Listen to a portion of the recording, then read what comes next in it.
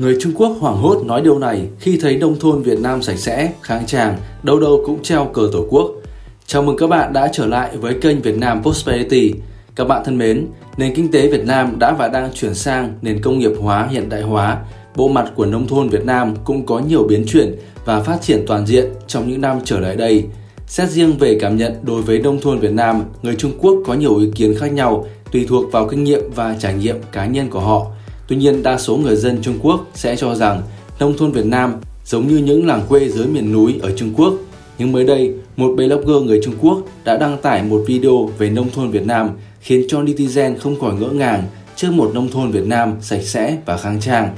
Vậy cụ thể, video của anh chàng blogger này đã đăng tải những gì về nông thôn Việt Nam mà lại khiến cho cư dân mạng Trung Quốc bất ngờ và liệu video này của anh chàng có thể giúp thay đổi định kiến của người dân Trung Quốc về nông thôn Việt Nam hay không? Các bạn hãy cùng mình theo dõi trong video hôm nay nhé!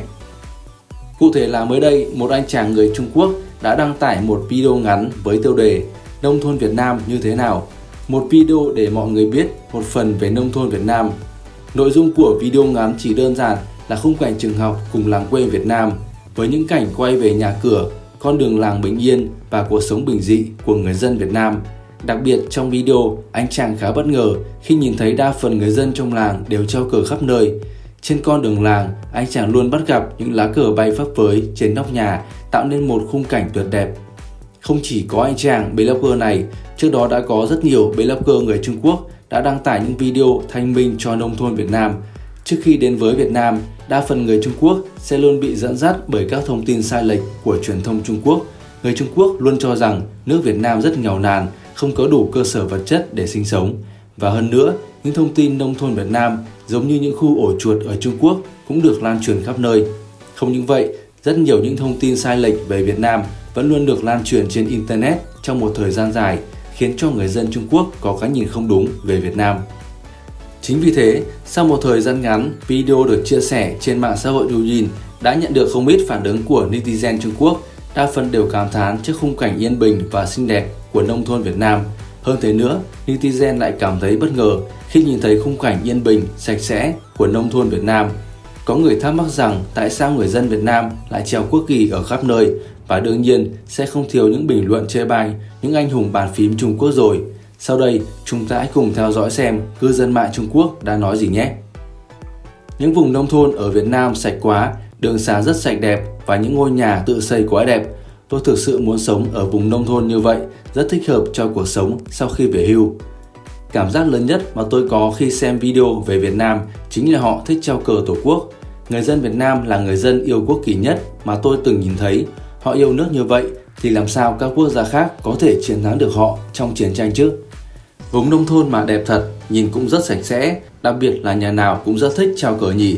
Việt Nam thực sự không thua gì Trung Quốc, người Trung Quốc có thể nói là những người mệt mỏi nhất trên thế giới và những gì họ có thể nhận được không tương xứng với những gì họ phải trả. Thứ đập vào mắt tôi nhiều nhất chính là lá cờ của Việt Nam, sao người dân bên họ thích treo cờ thế nhỉ? Rất nhiều lần tôi nhìn thấy người dân Việt Nam treo quốc kỳ trước cửa nhà, tạo một khung cảnh rất đẹp. Người Việt Nam yêu quốc cờ như vậy chứng tỏ họ rất yêu nước. Đây là lý do tại sao tại những cuộc chiến tranh trong quá khứ họ luôn giành chiến thắng, họ có tinh thần dân tộc và đoàn kết rất cao hoàn toàn không thể chia cắt được họ. Đây là nông thôn của nước họ, nhìn nghèo thật đấy. Chỉ toàn là nhà đất mái ngói, nhìn nghèo hơn rất nhiều nông thôn ở Trung Quốc, kinh tế lại không phát triển, không có khu công nghiệp, cũng không có quảng bá nông thôn như Trung Quốc, thua xa thị trấn miền núi ở Trung Quốc nữa. Tôi không ngờ những vùng nông thôn Việt Nam lại có thể đẹp đến vậy, sạch sẽ ngăn nắp, yên bình và giàu có. Nếu có thể, tôi thực sự muốn đến sống ở đây khi về hưu. Cuộc sống ở nông thôn nhìn yên bình thật đấy, không tấp nập như thành phố nhưng họ vẫn yêu thích khung cảnh này.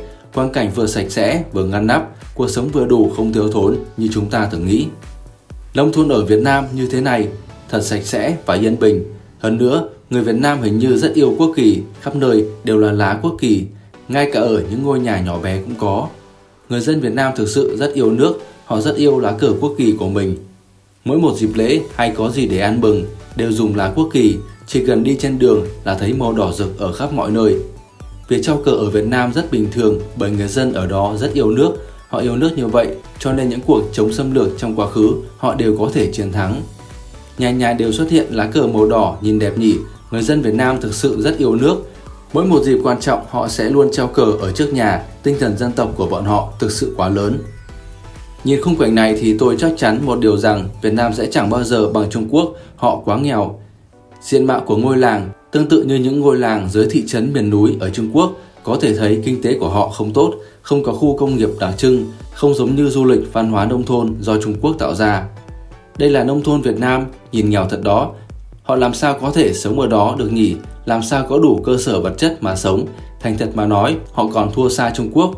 Khung cảnh nhìn bình yên thật, về hưu có thể sống ở đó thì thật tuyệt vời. Tôi rất thích sống ở vùng nông thôn sạch sẽ giống như vậy. Trên đây là một số trong những bình luận của cư dân mạng Trung Quốc về nông thôn Việt Nam và những lá quốc kỳ đỏ rực tung bay phấp phới. Mặc dù vẫn có những lời chê bai mang ý ghen tị, thế nhưng vẫn có không ít người dân Trung Quốc cảm thán trước khung cảnh yên bình và sạch sẽ của Việt Nam. Điều đó chứng tỏ rằng những nỗ lực thay đổi bộ mặt nông thôn Việt Nam đã có những dấu hiệu tích cực. Nền kinh tế Việt Nam đã thay đổi từ nông nghiệp sang nền công nghiệp hiện đại hóa, bộ mặt của nông thôn Việt Nam cũng đã có những chuyển biến và hiện đại hơn.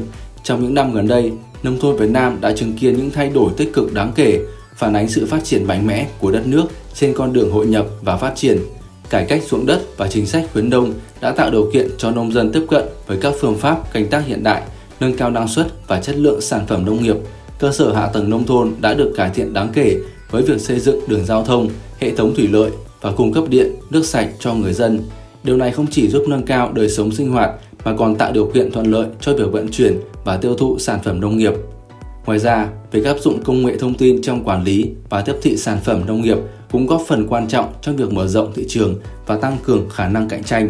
Nông dân có thể sử dụng Internet để tìm hiểu thông tin về thị trường, giá cả và kỹ thuật canh tác, cũng như quảng bá sản phẩm của mình đến với khách hàng trong và ngoài nước. Sự tham gia của các tổ chức nông nghiệp và hợp tác xã cũng đã tạo điều kiện cho nông dân học hỏi, chia sẻ kinh nghiệm và hợp tác trong sản xuất và tiêu thụ sản phẩm.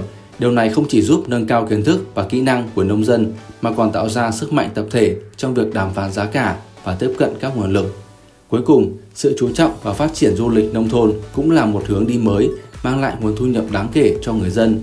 Du lịch cộng đồng, du lịch sinh thái và các hoạt động trải nghiệm nông nghiệp đang ngày càng phổ biến, giúp bảo tồn văn hóa truyền thống và tạo ra hình ảnh mới mẻ cho nông thôn Việt Nam. Những thay đổi này đã góp phần làm thay đổi diện mạo của nông thôn Việt Nam từ một khu vực chủ yếu phụ thuộc vào nông nghiệp truyền thống sang một cộng đồng nông nghiệp hiện đại, đa dạng và bền vững. Còn các bạn thì sao? Các bạn có cảm thấy bất ngờ với những phản ứng của nước ngoài khi nhìn thấy khung cảnh nông thôn Việt Nam hay không?